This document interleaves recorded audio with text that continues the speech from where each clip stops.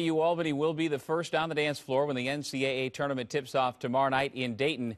And Peter Hooley has woken up from his long nap on the charter flight. Kelly O'Donnell has the very latest with the Great Danes. The Great Danes wrapped up their shoot around here at the University of Dayton Arena about an hour ago. Mount St. Mary's is on the floor right now. Of course, that's U Albany's opponent. Tip off tomorrow night here in Dayton at 6:40. Now, as far as today's shoot around for the Great Danes, it was very informal. They just wanted to get up a few shots and get used to playing in this arena. They had an actual practice at Wright State earlier this afternoon. But really, for the players, it's about settling into the moment. It was just 24 hours ago they found out where they were playing, who they were playing. Now their game is one day away, and for some, it still doesn't quite feel real. Has it, it kind of sunk in yet that this is the NCAA tournament, or does it feel like just another road game right now?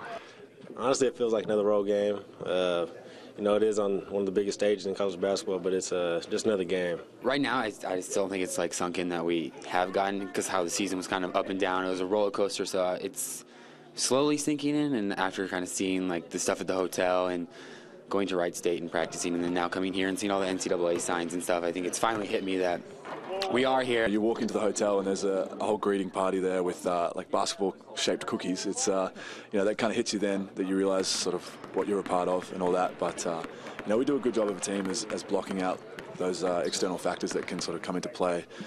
Uh, and affect the way we play the game. So, you know, it hits us, but we're still in the moment. The players are on their way back to the team hotel right now. They're going to stay in tonight and have food delivered. And they'll wake up tomorrow and head to the arena by noon for another shoot around. Again, tip off at 6:40 against Mount St. Mary's, the first game of the 2014 NCAA tournament. More tonight at 11 o'clock. For now, in Dayton, Kelly O'Donnell, CBS 6 Sports.